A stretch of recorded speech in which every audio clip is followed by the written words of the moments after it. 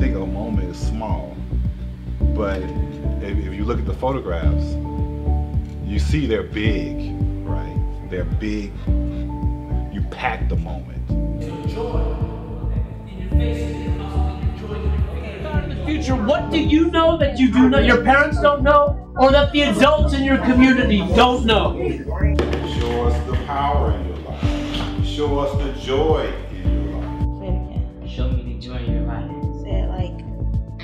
Show me the joy in your life. Show me the joy in your life. Two and three. Show me the joy in your life. Uh, let's see. I want the neighborhood to feel together. You know, unified. And I just wanted to highlight the relationships. Like these kids feel the same things that these adults do. These adults, white, black, whatever, feel the same way these kids do. Show me the love in your life. My best friends with my family and school.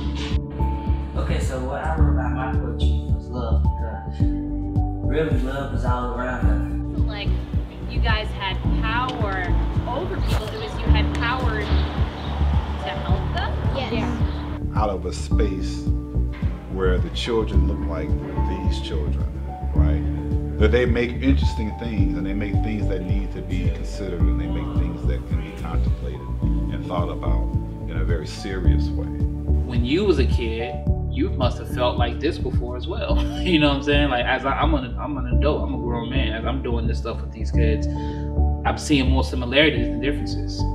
You know, and that makes me feel closer to them. That makes me feel like they're an extension myself. And if everybody in a community saw each other as extension of themselves, my theory is we'll treat each other differently in a better way. And hopefully, if they see, you know, these, uh, this poetry, they'll feel that way.